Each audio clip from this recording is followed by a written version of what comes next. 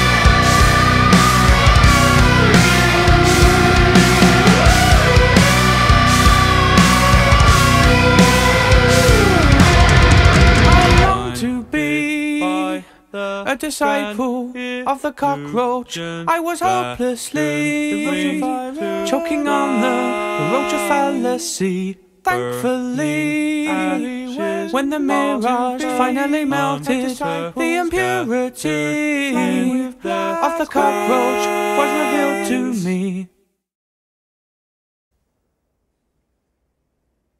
It seems in today's world, the power to absolve debt is greater than the power of forgiveness.